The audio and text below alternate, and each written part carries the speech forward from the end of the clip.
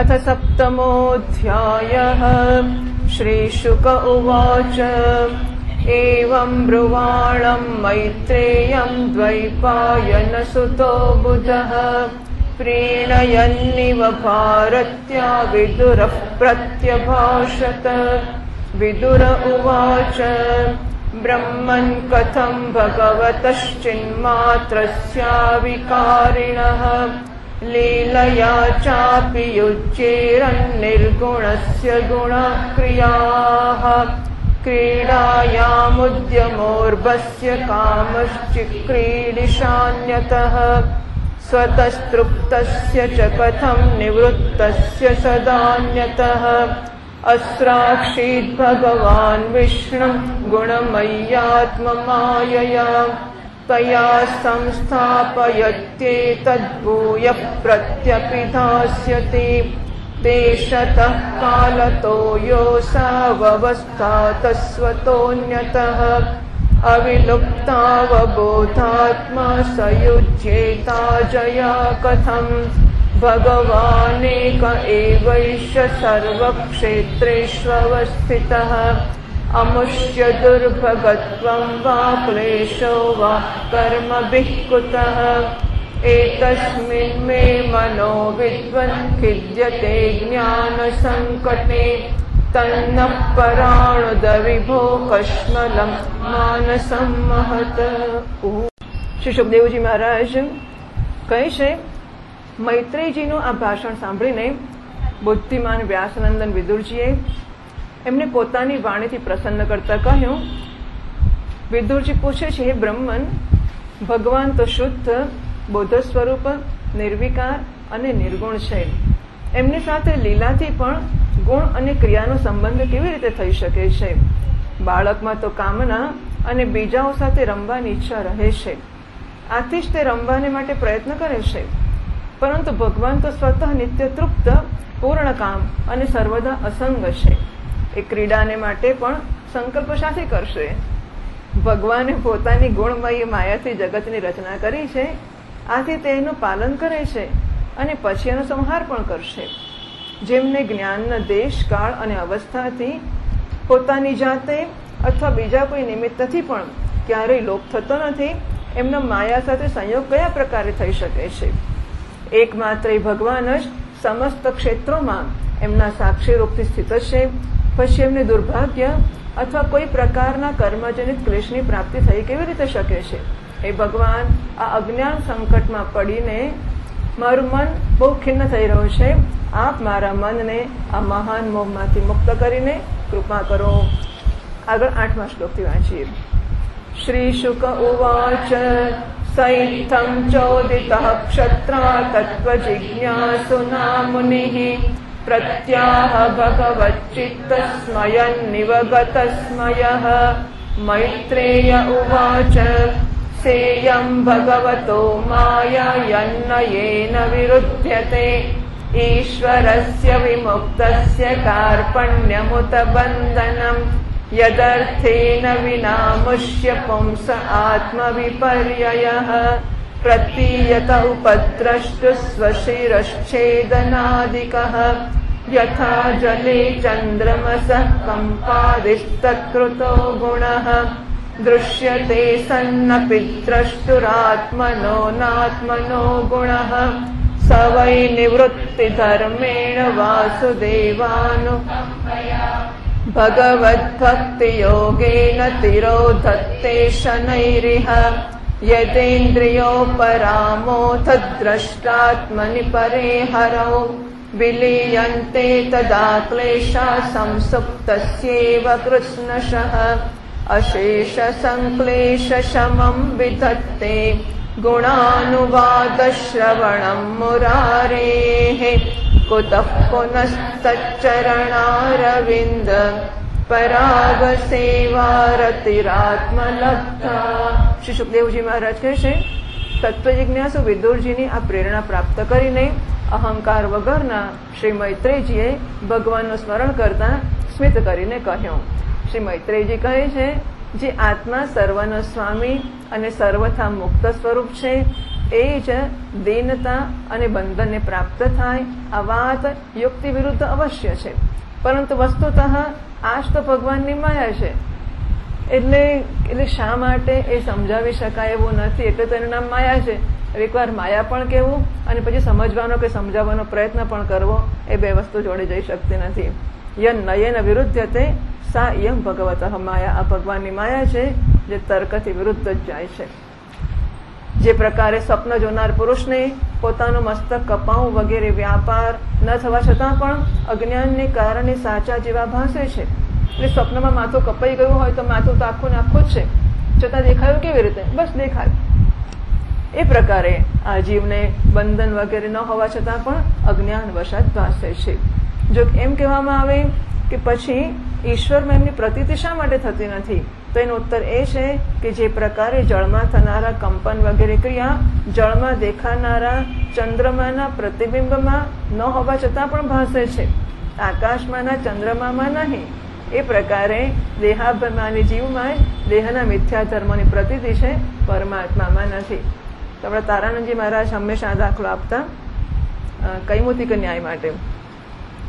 કે મોટી કઢાઈ હોય ને કઢાઈમાં તેલ ગરમ કર્યું, ઉકળતું હોય ચંદ્રનું પ્રતિબિંબ એમાં પડતું હોય, તે પ્રતિબિંબ ગરમ થાય કે ના થાય?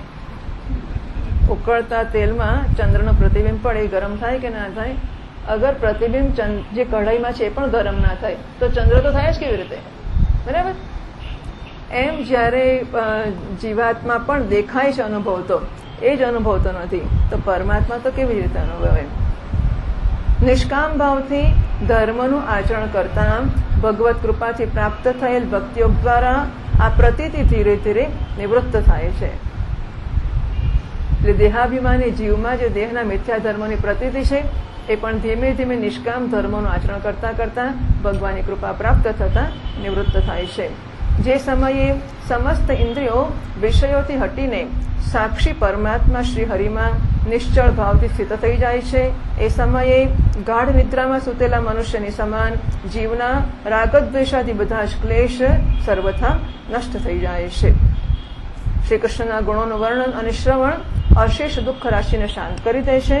પછી જો આપણા હૃદયમાં એમના ચરણ કમળની રજના સેવનનો પ્રેમ જાગી પડે, તો તો કેવું જ શું? પંદરમા શ્લોકથી વિદુર ઉવાચ સંચિન્ન સંશયો મહ્યમ તવ સૂક્તાસી ના વિભો. ઉભયત્રાપि ભગવન મનો મે સંપ્રધાવતી. સાધ્વે તદ્વ્યાહૃતમ વિદ્વન્નાત્મ માયાયનમ હરે. આભાત્ય પાર્થમ નિર્મૂલમ વિશ્વમૂલમ યદ્બહિ यश्च मूढतमो लोके यश्च बुद्धेः परं गतः तावुभौ सुखमेधेते क्लिश्यत्यन्तरितो जनः अर्थाभावं विनिश्चित्य प्रतीतस्यापि नात्मनः तां चापि युष्मच्चरणसेवयाहं पराणुदे यत्सेवया भगवतः कूटस्थस्य मधुद्विषः रतिरासो भवेत्तीव्रः पादयोर्व्यसनार्दनः दुरापाह्यल्पतपसः सेवा वैकुण्ठवर्त्मसु। यत्रोपगीयते नित्यं देवदेवो जनार्दनः। सृष्ट्वाग्रे महदादीनि सविकाराण्यनुक्रमात् तेभ्यो विराजमुद्धृत्य तमनुप्राविशद्विभुः यमाहुराद्यं पुरुषं सहस्राङ्ग्यरुबाहुकम् यत्र विश्व इमे लोकाः सविकासं समासते यस्मिन् दशविधः प्राणस्तेन्द्रियार्थेन्द्रियस्त्रिवृत त्वयेरितो यतो वर्णास्तद्विभूतिर्वदस्व नः यत्र पुत्रैश्च पौत्रैश्च नक्तृभिः सह गोत्रजैः प्रजाविचित्रा कृतय आसन् याभिरिदं ततम् प्रजापतीनां सपतिश्च कृपेकान् प्रजापतीन् सर्गांश्चैवानुसर्गांश्च मनोन्मन्वन्तराधिपान् एतेषामपि वंशाश्च वंशानुचरितानि च उपर्यदश्च ये लोका भूमिर्मित्रात्मजा सते तेषां संस्थां प्रमाणं च भूर्लोकस्य च वर्णय तिर्यं मानुषदेवानां सरीसृपपतत्रिणां वदनः सर्गसंव्यूहं गार्भस्वेदद्विजोद्भिदाम् गुणावतारैर्विश्वस्य सर्गस्थित्यप्ययाश्रयम् सृजत श्रीनिवासस्य व्याचक्ष्वोदारविक्रमम् वर्णाश्रमविभागांश्च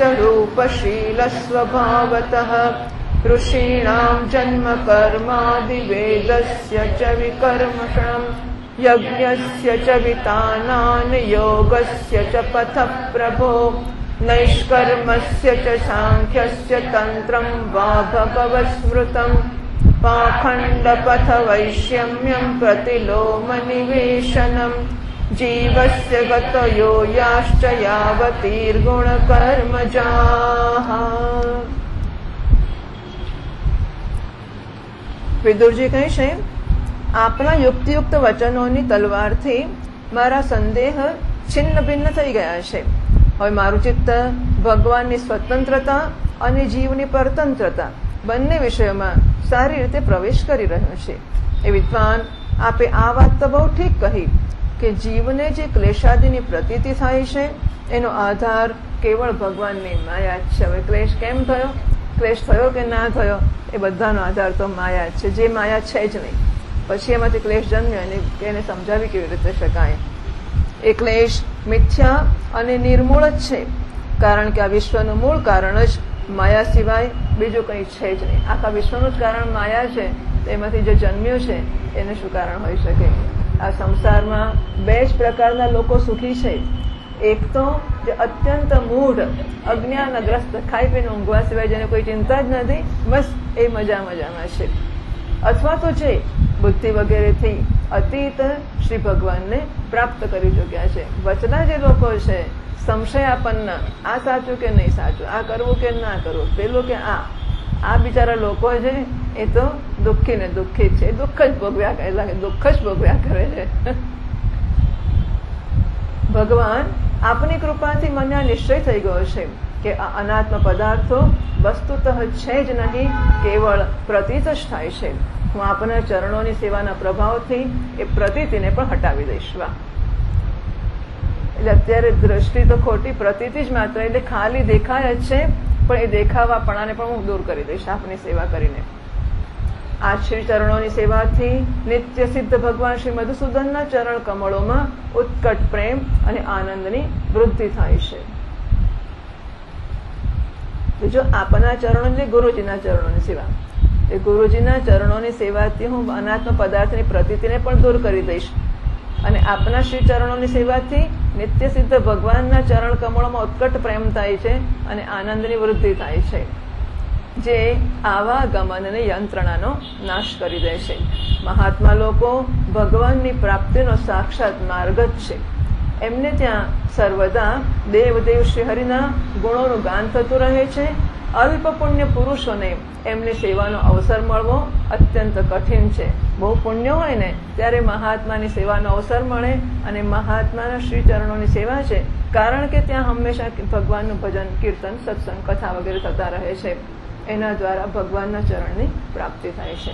ભગવાન આપે કહ્યું કે, સૃષ્ટિના પ્રારંભમાં ભગવાને ક્રમશઃ મહદાદી તત્વ અને એમના વિકારોને રચીને પછી એમના અંશોથી વિરાટને ઉત્પન્ન કર્યા અને એ પછી એ સ્વયં એમાં પ્રવિષ્ટ થઈ ગયા. એ વિરાટના હજારો પગ, જાંગ અને બાહુઓ છે. એમણે વેદ આદિ પુરુષ કહે છે. એમાં બધા લોકો વિસ્તૃત રૂપે સ્થિત છે. જો આગળ તો દરેક જગ્યાએ શરૂઆતના બે ચાર શ્લોકોમાં તો મિથ્યાત્વ જ કહી દેશે, હા?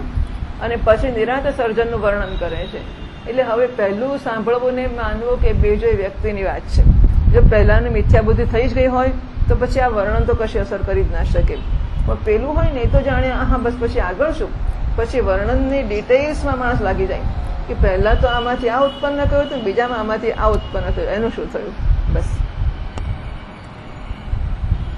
એમાં ઇન્દ્રિય વિષય અને ઇન્દ્રિયાભિમાની દેવતાઓ સહિત દસ પ્રકારના પ્રાણોનું જે ઇન્દ્રિય બળ, મનોબળ અને શારીરિક બળરૂપથી ત્રણ પ્રકારના છે.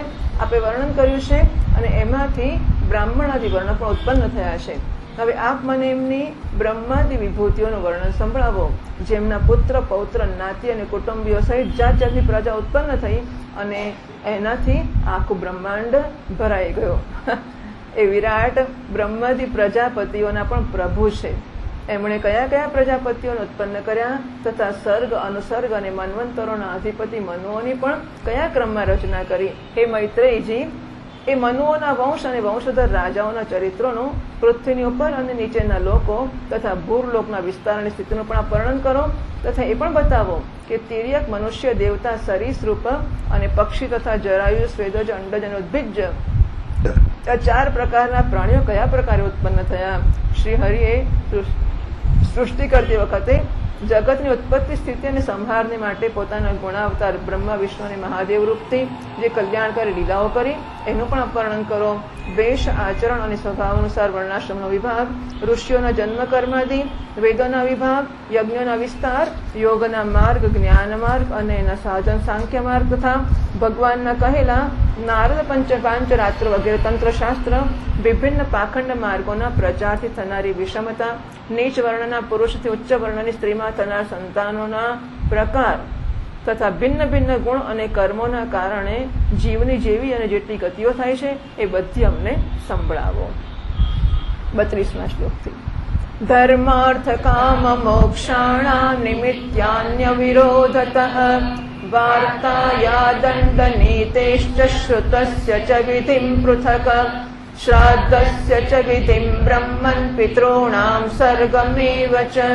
ग्रहनक्षत्रताराणाम् कालावयवसंस्थितिम् दानस्य तपसो वापि यच्चेष्टा पूर्तयोः फलम्।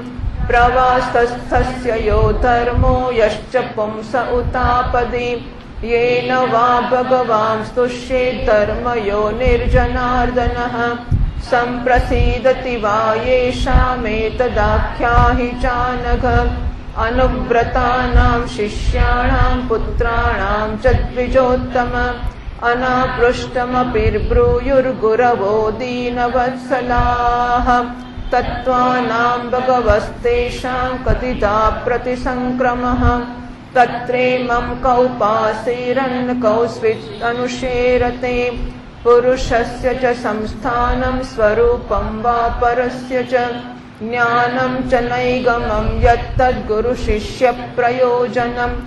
निमित्तानि च तस्येह प्रोक्तान्यनघसूरिभिः। स्वतो ज्ञानं कुतः पुंसां भक्तिर्वैराग्यमेव वा एतान् मे पृच्छतः प्रश्नान् हरेः कर्म विवित्सया ब्रूहि मेऽज्ञस्य मित्रत्वादजया नष्टचक्षुषः सर्वे वेदाश्च यज्ञाश्च तपोदानानि चानघ जीवाभयप्रदानस्य न कुर्वीरन् कलामपि श्रीशुक उवाच स इत्थमापृष्टपुराणकल्पः कुरुप्रधानेन मुनिप्रधानः प्रवृत्तहर्षो भगवत्कथायाम् સંચોદિતસ્તમ પ્રહસન્નિવાહ હે બ્રાહ્મણ ધર્મ અર્થ કામ અને મોક્ષની પ્રાપ્તિના પરસ્પર અવિરોધી સાધનોનું વાણિજ્ય, દંડનીતિ અને શાસ્ત્ર શ્રવણની વિધિઓનું, શાસ્ત્રની વિધિનું, પિતૃગણોની સૃષ્ટિનું અને કાળચક્રમાં ગ્રહ, નક્ષત્ર અને તારાગણની સ્થિતિનું પણ આપ અલગ અલગ વર્ણન કરો. દાન તપ તથા ઇષ્ટ અને પૂર્ત કર્મનું શું ફળ છે? પ્રવાસ અને આપત્તિના સમયે મનુષ્યનો કયો ધર્મ હોય છે? એ નિષ્પાપ મૈત્રીજી, ધર્મના મૂળ કારણ શ્રી જનાર્દન ભગવાન કયા આચરણથી સંતુષ્ટ થાય છે અને કોના પર અનુગ્રહ કરે છે એ વર્ણન કરો. હે દ્વિજવર, દીનવત્સલ ગુરુજન પોતાના અનુગત શિષ્યો અને પુત્રોને પૂછ્યા વગર પણ એમના હિતની વાત બતાવી દે છે. ગુરવહ દીનવત્સલાહ, ગુરુ દીનવત્સલ હોય છે. આમ તો નિયમ એવો છે કે ના પ્રશ્ન પૂછાવામાં ના આવ્યું હોય તો કે શિષ્યને કે પુત્રને પણ કહેવું નહીં. નિયમ એવો છે. પણ આપ તો ગુરુ છો દિન વત્સલ છો અને આ પ્રશ્ન આપી બ્રોયો હો, પૂછવામાં ના આવ્યો હોય તો પણ આપ તો કહો. તો હું તો આટલું બધું પૂછું છું. કૃપા કરીને આપ મને ઉત્તર આપો. હે ભગવાન એ મહદાદી તત્વનો પ્રલય કેટલા પ્રકારનો છે? તથા જ્યારે ભગવાન યોગ નિદ્રામાં શયન કરે છે, ત્યારે એમાં થી કયા કયા તત્વ એમની સેવા કરે છે અને કયા એમનામાં લીન થઈ જાય છે? જીવનું તત્વ, પરમેશ્વરનું સ્વરૂપ, ઉપનિષદ પ્રતિપાદિત જ્ઞાન તથા ગુરુ અને શિષ્યનું પારસ્પરિક પ્રયોજન શું છે? પવિત્ર આત્મન વિદ્વાનોએ એ જ્ઞાનની પ્રાપ્તિથીને ના કયા કયા ઉપાય બતાવ્યા છે? કારણ કે મનુષ્યોને જ્ઞાન, ભક્તિ અથવા વૈરાગ્યની પ્રાપ્તિ પોતાની જાતે તો થઈ શકતી નથી. એ બ્રહ્મન માયા મોહને કારણે મારી વિચાર દૃષ્ટિ નષ્ટ થઈ ગઈ છે. અજ્ઞાની છું, આપ મારા પરમ સુહૃત છો આથી શ્રીહરિની લીલાના જ્ઞાન પ્રાપ્ત કરવાની ઈચ્છાથી મેં જે પ્રશ્નો કર્યા છે, એમના ઉત્તર આપ મને આપો. હે પુણ્યમય મૈત્રીજી, ભગવત તત્વના ઉપદેશ દ્વારા જીવને જન્મ મૃત્યુથી છોડાવીને એને અભય કરી દેવામાં જે પુણ્ય થાય છે, સમસ્ત વેદોના અધ્યયન, યજ્ઞ, તપસ્યા અને દાનાદિથી થનારા પુણ્ય એ પુણ્યના સોળવા અંશ બરાબર પણ નથી થઈ શકતું. એટલે મહારાજ, આપને પુણ્ય થશે? મને તો થશે જ થશે. આપને પુણ્ય થશે, મને જ્ઞાન કરાવશો તો. એટલે માટે પણ મને કહો. શ્રી સુખદેવજી મહારાજ કહે છે, રાજા, જ્યારે કુરુશ્રેષ્ઠ વિદુરજીએ મુનિવર મૈત્રેયજીને આ પ્રકારે પુરાણ વિષયક પ્રશ્ન કર્યા, ત્યારે ભગવત ચર્ચાને માટે પ્રેરિત કરાયા હોવાને કારણે એ બહુ પ્રસન્ન થયા અને સ્મિત કરીને કહેવા લાગ્યા. એટલે શ્રીમદ ભાગવતે મહાપુરાણે પારમહંસ્યામ સંહિતાયામ તૃતીય સ્કંદે સપ્તમોધ્યાય